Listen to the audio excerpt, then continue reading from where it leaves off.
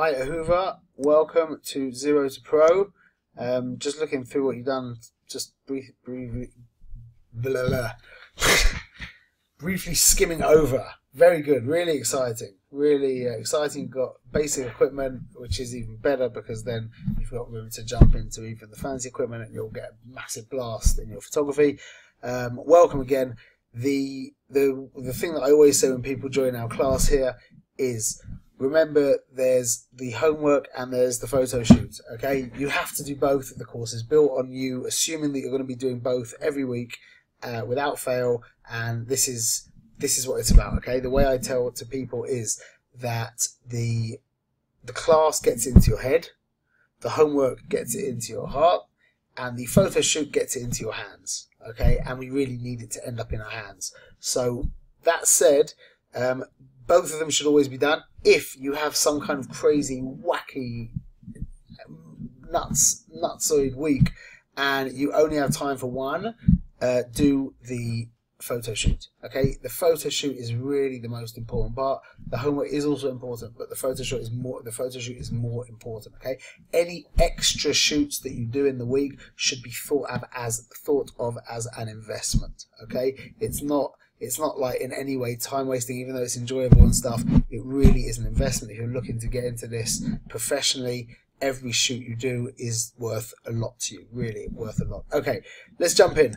So our first class, uh, our first image is what we call triangle. And um, this is fine. This is a triangle. Um, I what I always say to people here is to work it out that you create a triangle that you wouldn't necessarily see only from a certain kind of vantage point. So, for example, if you were to move the clock much much forward towards you, then the clock would get if you move back yourself and then move the clock, but leave the lamp in the background, the clock, so to speak, relatively would get bigger and bigger and bigger and bigger, and you could create a triangle with the apex of the triangle being that smaller clock just because the lamp is far in the background. You understand? So the triangle only exists because you kind of moved yourself to a certain area. Okay? Um, so trying that because it, that's what we have to stay focused on out in the real world when we're taking pictures is triangles and squares and circles, which is the shapes that we need to compose, uh, to create our images, uh, are not always so readily available, although they are very available as well but there's sometimes when we need to create them by moving into certain positions so that that line of the of the roof over there crosses over with the post box and that create etc etc that creates a, a triangle. You with me? Okay. Great texture. Okay that is a great texture. Love that. See it's funny that you know you'd say to somebody this is uh, it's just the bark of a tree. But you realize that um, artists have been competing with this kind of beauty for many years. I mean, that looks to me like impressionist brush brushstrokes. Let's just look. One second. So look, I just pulled in. Uh, I just typed into Google impressionism, and um, I mean, it's all. It's all. Look at look at these pictures. One second. I'll bring it over for you. See this picture here? I don't even know who it's by. Usually, when you type in impressionism, I'd imagine um, comes up Van Gogh, Monet. Um, this looks like Van Gogh. Um, but anyway, but look at the the kind of textures that they were trying to explore. Look at the way this picture's painted, and then look at your tree. Interesting, though. See, beauty is it's uh, it's very much everywhere, and it just takes certain kind of eyes to see it. And as a photographer, we're there to reveal it all over the place. Yeah, look at this. Very interestingly enough, this is the texture of the bark of the tree, and this is the texture on the inside of the tree. Okay, very special. Very, I really appreciate that. Know if you did that with thought, but um, if you did, nice one. Um, but that's great. Two very different experiences. This is a very natural looks almost like water flowing, movement down. The light here has turned and created these kind of downward daggers. That means our eyes falling downwards. That probably helps us feel of the, the water, plus the texture and the color is very watery. Um, and we've got here a solid, these lines here actually very energized. We learn that vertical lines are dynamic, horizontal lines are passive, um, diagonal lines are, depending where they are on the canvas, but generally more uh, more dynamic. Uh, great, excellent. This is definitely a texture. Okay, a pattern. What camera are you using, by the way? T6. Excellent. Uh, this is a pattern. Very good. Just to, I think, if you're just leant over, just to try and, like, I think one of the things about this pattern is either create a very deep perspective with it. Right now, you've just kind of got these like very loose triangles. I mean, they're not really triangles. They're just like kind of um, um, what's the word like very very subtle trapeziums because of the angle. But if you just move the camera further over and shot completely down that would end up adding to this the energy of this pattern. This is fine. Okay great. I can't tell you how many people have taken the same picture for their pattern shot which is fine which is great. Well seen. But like I said pay attention to straightening things up. Like as I see this book here is so to speak smaller than this book over here that's because you are at a slight angle. So that book is further away from you than this one. Just straighten up perfectly and um, you'll see that that will end up adding to the energy and like to the just the beauty of the picture basically. Okay. Um, but good, that is also a pattern. Okay. Depth. This is depth. Um, winding off into the distance. What I would do to really bring this out is to get lower get lower down, and as you get lower down, this will become, so to speak, closer, and this further, and all of a sudden you'll start seeing a really energized depth. We could definitely crop in over here. We'll add a little bit more, excuse me. But great, excellent, and this is excellent. Great, great example of depth. Could be, if you've got a little bit lower down, mm, you would end up losing I'm not sure. It, you would give up this top part of the triangle, basically. Uh, have to see. But um, this is great. I love the texture here as well. This is a great. This is a great place.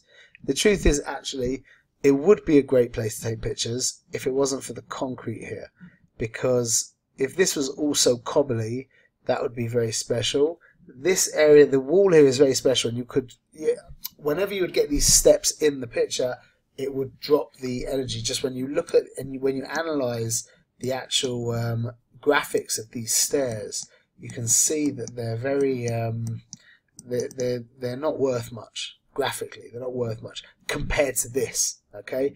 I mean really ob objectively they're not worth much graphically but definitely this is an awesome texture. So I would be trying to work this uh, trying to lose miss out this area here okay Good, as you can see here, you've actually done that exactly that. Now he's posed a little bit awkwardly, one second, this is balance, okay? He's posed a little bit awkwardly, which is making us feel that this picture isn't so great. But that could be very easily remedied. But the actual, the way that you've taken this shot is very, very intelligent because he is, um, he's actually blocking, your subject is blocking most of this area and you've really cashed in on this gorgeous texture here. Now all he needed to do is if he just turned himself a little bit more, moved that leg outwards and put this hand on the actual floor over here, yeah, then that would fill out more, it would get rid of more of this kind of texture and also give us a, a more of an energy inwards. I'm I'm thinking about cropping in a little bit closer. But this is really a great shot. In regards to balance, um, it's a very complicated picture, this because this hard energy is worth a lot. It's it's it's a heavy energy, so that pulls us. It's so heavy that in a sense it actually takes out. It contends for our attention. and it competes, I should say. It competes for our attention with our subject. Uh, which is very rare that graphics could compete with someone's face, but it really is very, very powerful. So it's a little difficult to assess this picture. We do have a movement coming in this way. He's also he's also um, posed a little bit more to his to the right of the camera, so that's giving a direction this way. We've also got this very strong triangle moving this direction, so I, it it could be that it's quite balanced, but it's much it's well beyond the scope of what we've. Uh, a very advanced composition, so I don't think we're going to get into that too much. I mean, I've basically explained it to you here. We've also got this echoing the triangle over this way, so we've got this crazy. I'll show you what the actual composition looks like. It's very rare that you get such a composition here. You've got like this, like this, and like this. Yeah. Then you've got a triangle created from him over here. He is also a player. Um, and then on top of this kind of, this is the, on top of this, uh, all of this stuff, then you've got this crazy texture as well, and then you've got these lines going this way as well. It's a very complicated picture, in short, um, but I think we, we, we got into it a bit. Okay, good. Let's look at your photo shoot. Interesting. I wonder where this place actually is. I see. I have uh, students from all over the world. I don't know. It does not look like Israel. Um, I do not know, but um, interesting. Uh, interesting if you could let me take a picture at some point and try and give away where you actually are. That would be fun. Okay, you can do that as bonus picture, I'll try and guess. Okay. Um, now, um, this picture does not work does not work. We're overexposed here, that's for sure. Um, the direction's going in here, but this overexposure really is the problem compared with the, the underexposure here. It's you, you'll look back. This is your first class. You're going to look back and you'll see that this isn't a picture um, that you will take again.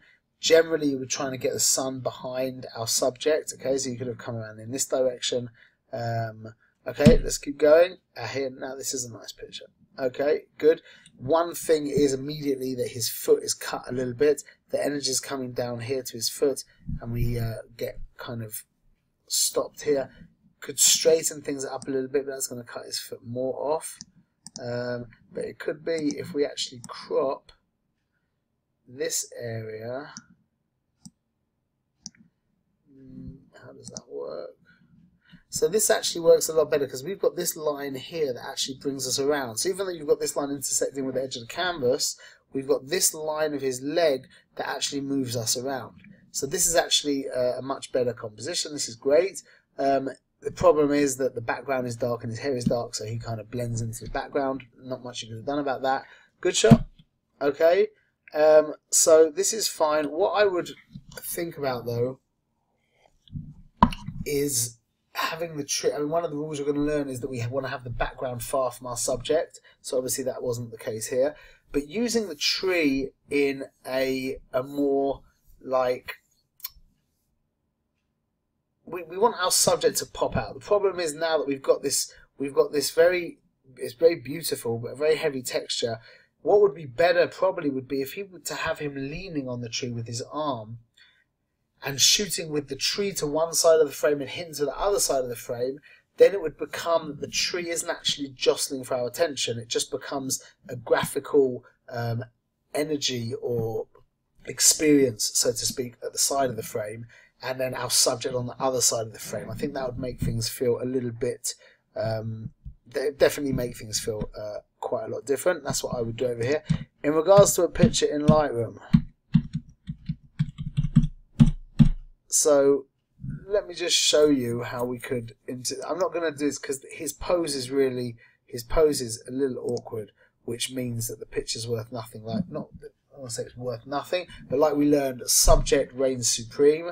Um, you can have the most gorgeous picture. I think you're going to see that in the next class that you can have the most gorgeous picture in the world, but if the girl's eyes are kind of squinty or she looks kind of funny, doesn't matter how gorgeous the sunset is, how gorgeous the lines are on the light and everything. If she's got her eyes closed, yeah, it's for the bin. Okay. Whereas the opposite is true, where if the person looks perfect, but the picture's not, you know, it's a little flat or it's whatever, uh, it's fine. It, not it's fine. It will pass the goal is, as an exceptional photographer, is to be getting the subject perfect and the graphics perfect. Okay, so it's not going to really make up for it because the problem here is really the is the subject. But graphics wise, what we could do with a picture like this um, is something like I would be using my um, paintbrush and I would be going over here. I'm not going to be leaving it like this. Don't worry.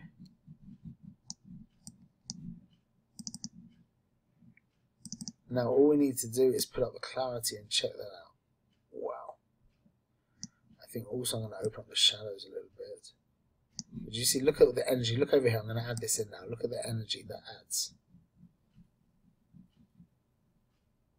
You see, so if he was like with his legs open, looking really cool, kind of with his hands, you know, like something more like this yeah, with his arms, you can't see me so well, but with his arms hanging on his uh, hanging on his knees, looking to that direction. Then we could darken also. I would create a new thing over here darken this area over here